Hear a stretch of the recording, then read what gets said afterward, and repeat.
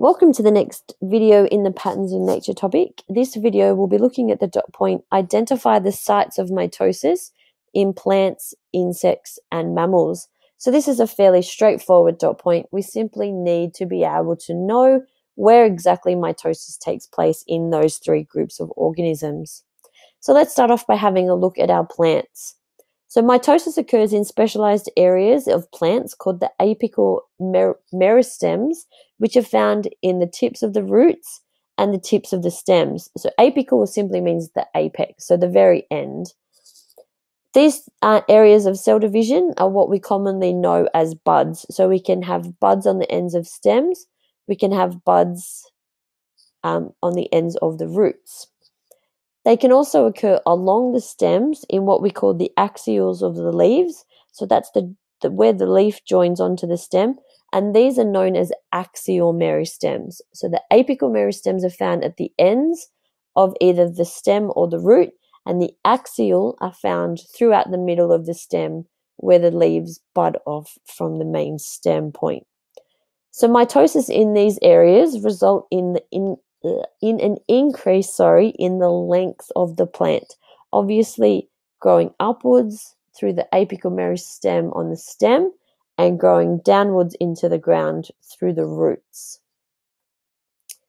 Mitosis also occurs in the meristem tissue, which is more commonly referred to as cambium, which is found between the xylem and the phloem.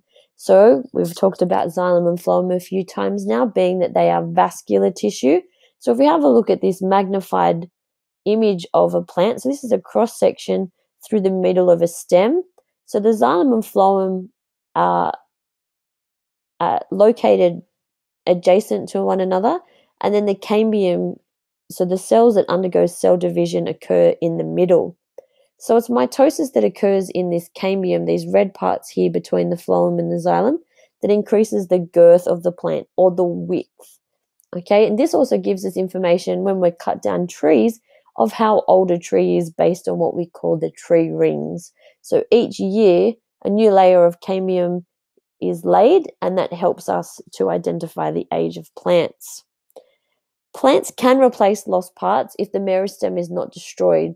So if the top of the if the meristem is not cut off, the plants can continue to regrow flowers, regrow leaves, which is why um, when you cut the top off a flower or the bottom off the roots of a plant, they can actually regrow more of the same.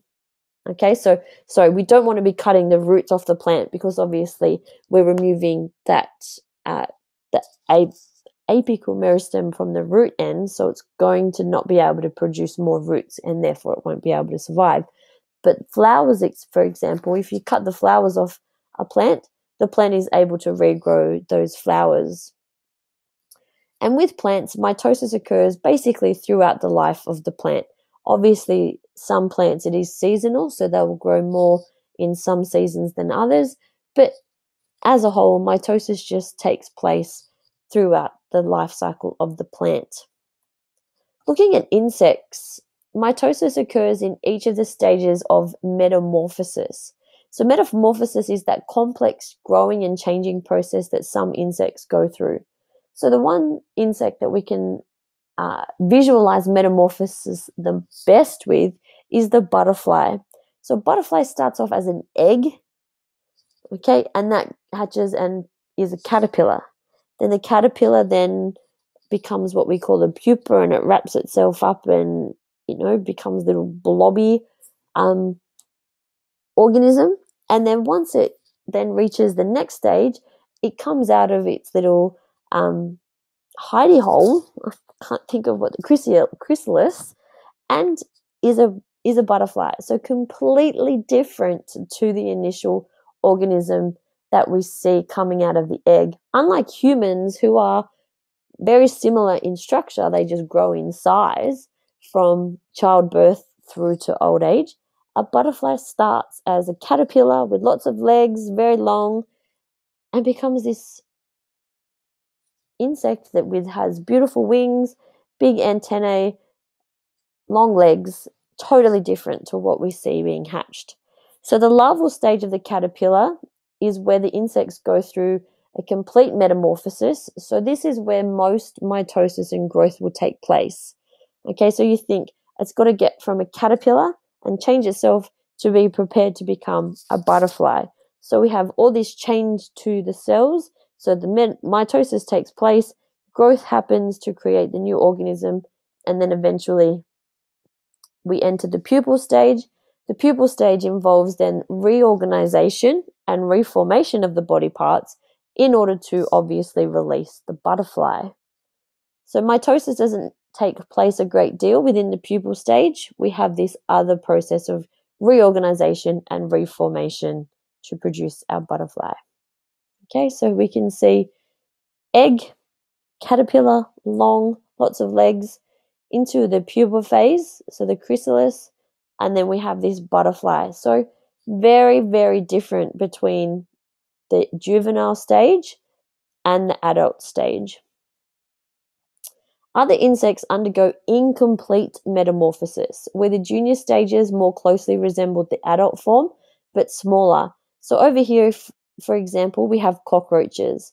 So, the egg of a cockroach hatches into a nymph, which is basically just a smaller version of an adult cockroach. There's no real difference in um, structures, obviously, just size.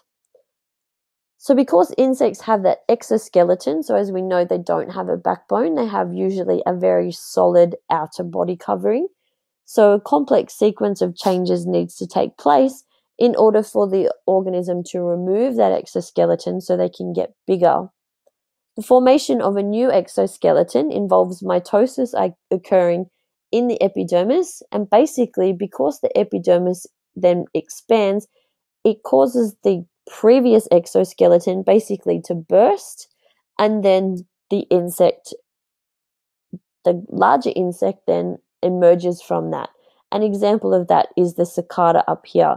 So we see in summer in Australia lots of these cicada shells laying around, and that's because the cicada on the inside has got bigger, it no longer fits into its shell and it bursts out of the shell, leaving the exoskeleton behind, and the cicada goes on its merry way. So, lastly, we need to look at mitosis in mammals. So, unlike some other animals, mammals cannot replace lost parts. So, if we cut off our arm, we don't have the ability to grow it back unless you're some kind of X Men. So, regeneration and mitosis in mature mammals, such as adult humans, is limited to tissue repair and maintenance. Okay, so we once we reach the end of puberty, once we reach our maximum height, we don't really have any mitosis taking place for growth anymore. Okay, becoming fatter is not necessarily related to growth in this sense, more talking about the creation of cells in order to reach maximum maturity.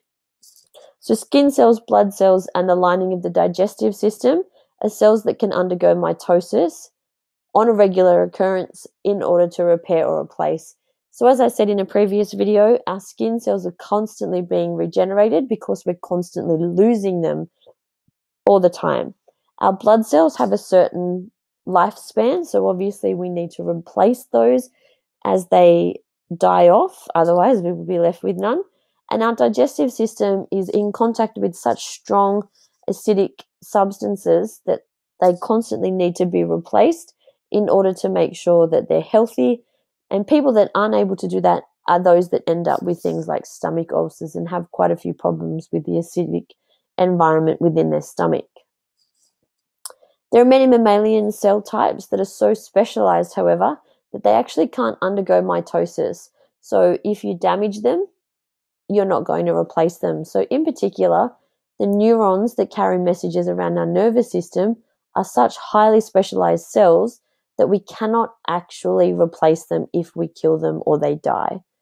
Okay, so um, our nervous system is really important that we look after it properly because um, of this reason that the cells cannot be replaced. So, stem cells, however, are what we call unspecialized cells. So, basically, that means until mitosis takes place, they can become any type of cell that the body needs, which is why there's so much research into stem cells at the moment because they're thinking that they could remove stem cells from organisms and be able to um, use different techniques to turn them into different types of cells that are required. So, most of the time, these stem cells will differentiate, which means they will change into the same cells as their surrounding cells. So, if the stem cells are found in the in the bone marrow, they'll become bone marrow cells. If they're found in uh, the skin, they'll become skin cells. Okay, so they become what they're surrounded by. Mitosis is an important part of the immune response as well to help protect us against infectious diseases, in which certain blood cells called lymphocytes, which are, white blood cells, will replicate themselves when exposed to certain foreign materials. So if you get an infection, your lymphocytes will remember the infection, and if you get reinfected, they will undergo mitosis rapidly in order to produce lots of them to try to stop you from getting sick again. That's why we don't often get the same infectious disease twice, such as chickenpox. Okay? And lastly, mammals go through periods of rapid growth and therefore mitosis, as we said, until maturation. Once they've finished puberty, reached their, you know, their maximum height, same thing happens throughout all mammals in the um, animal world.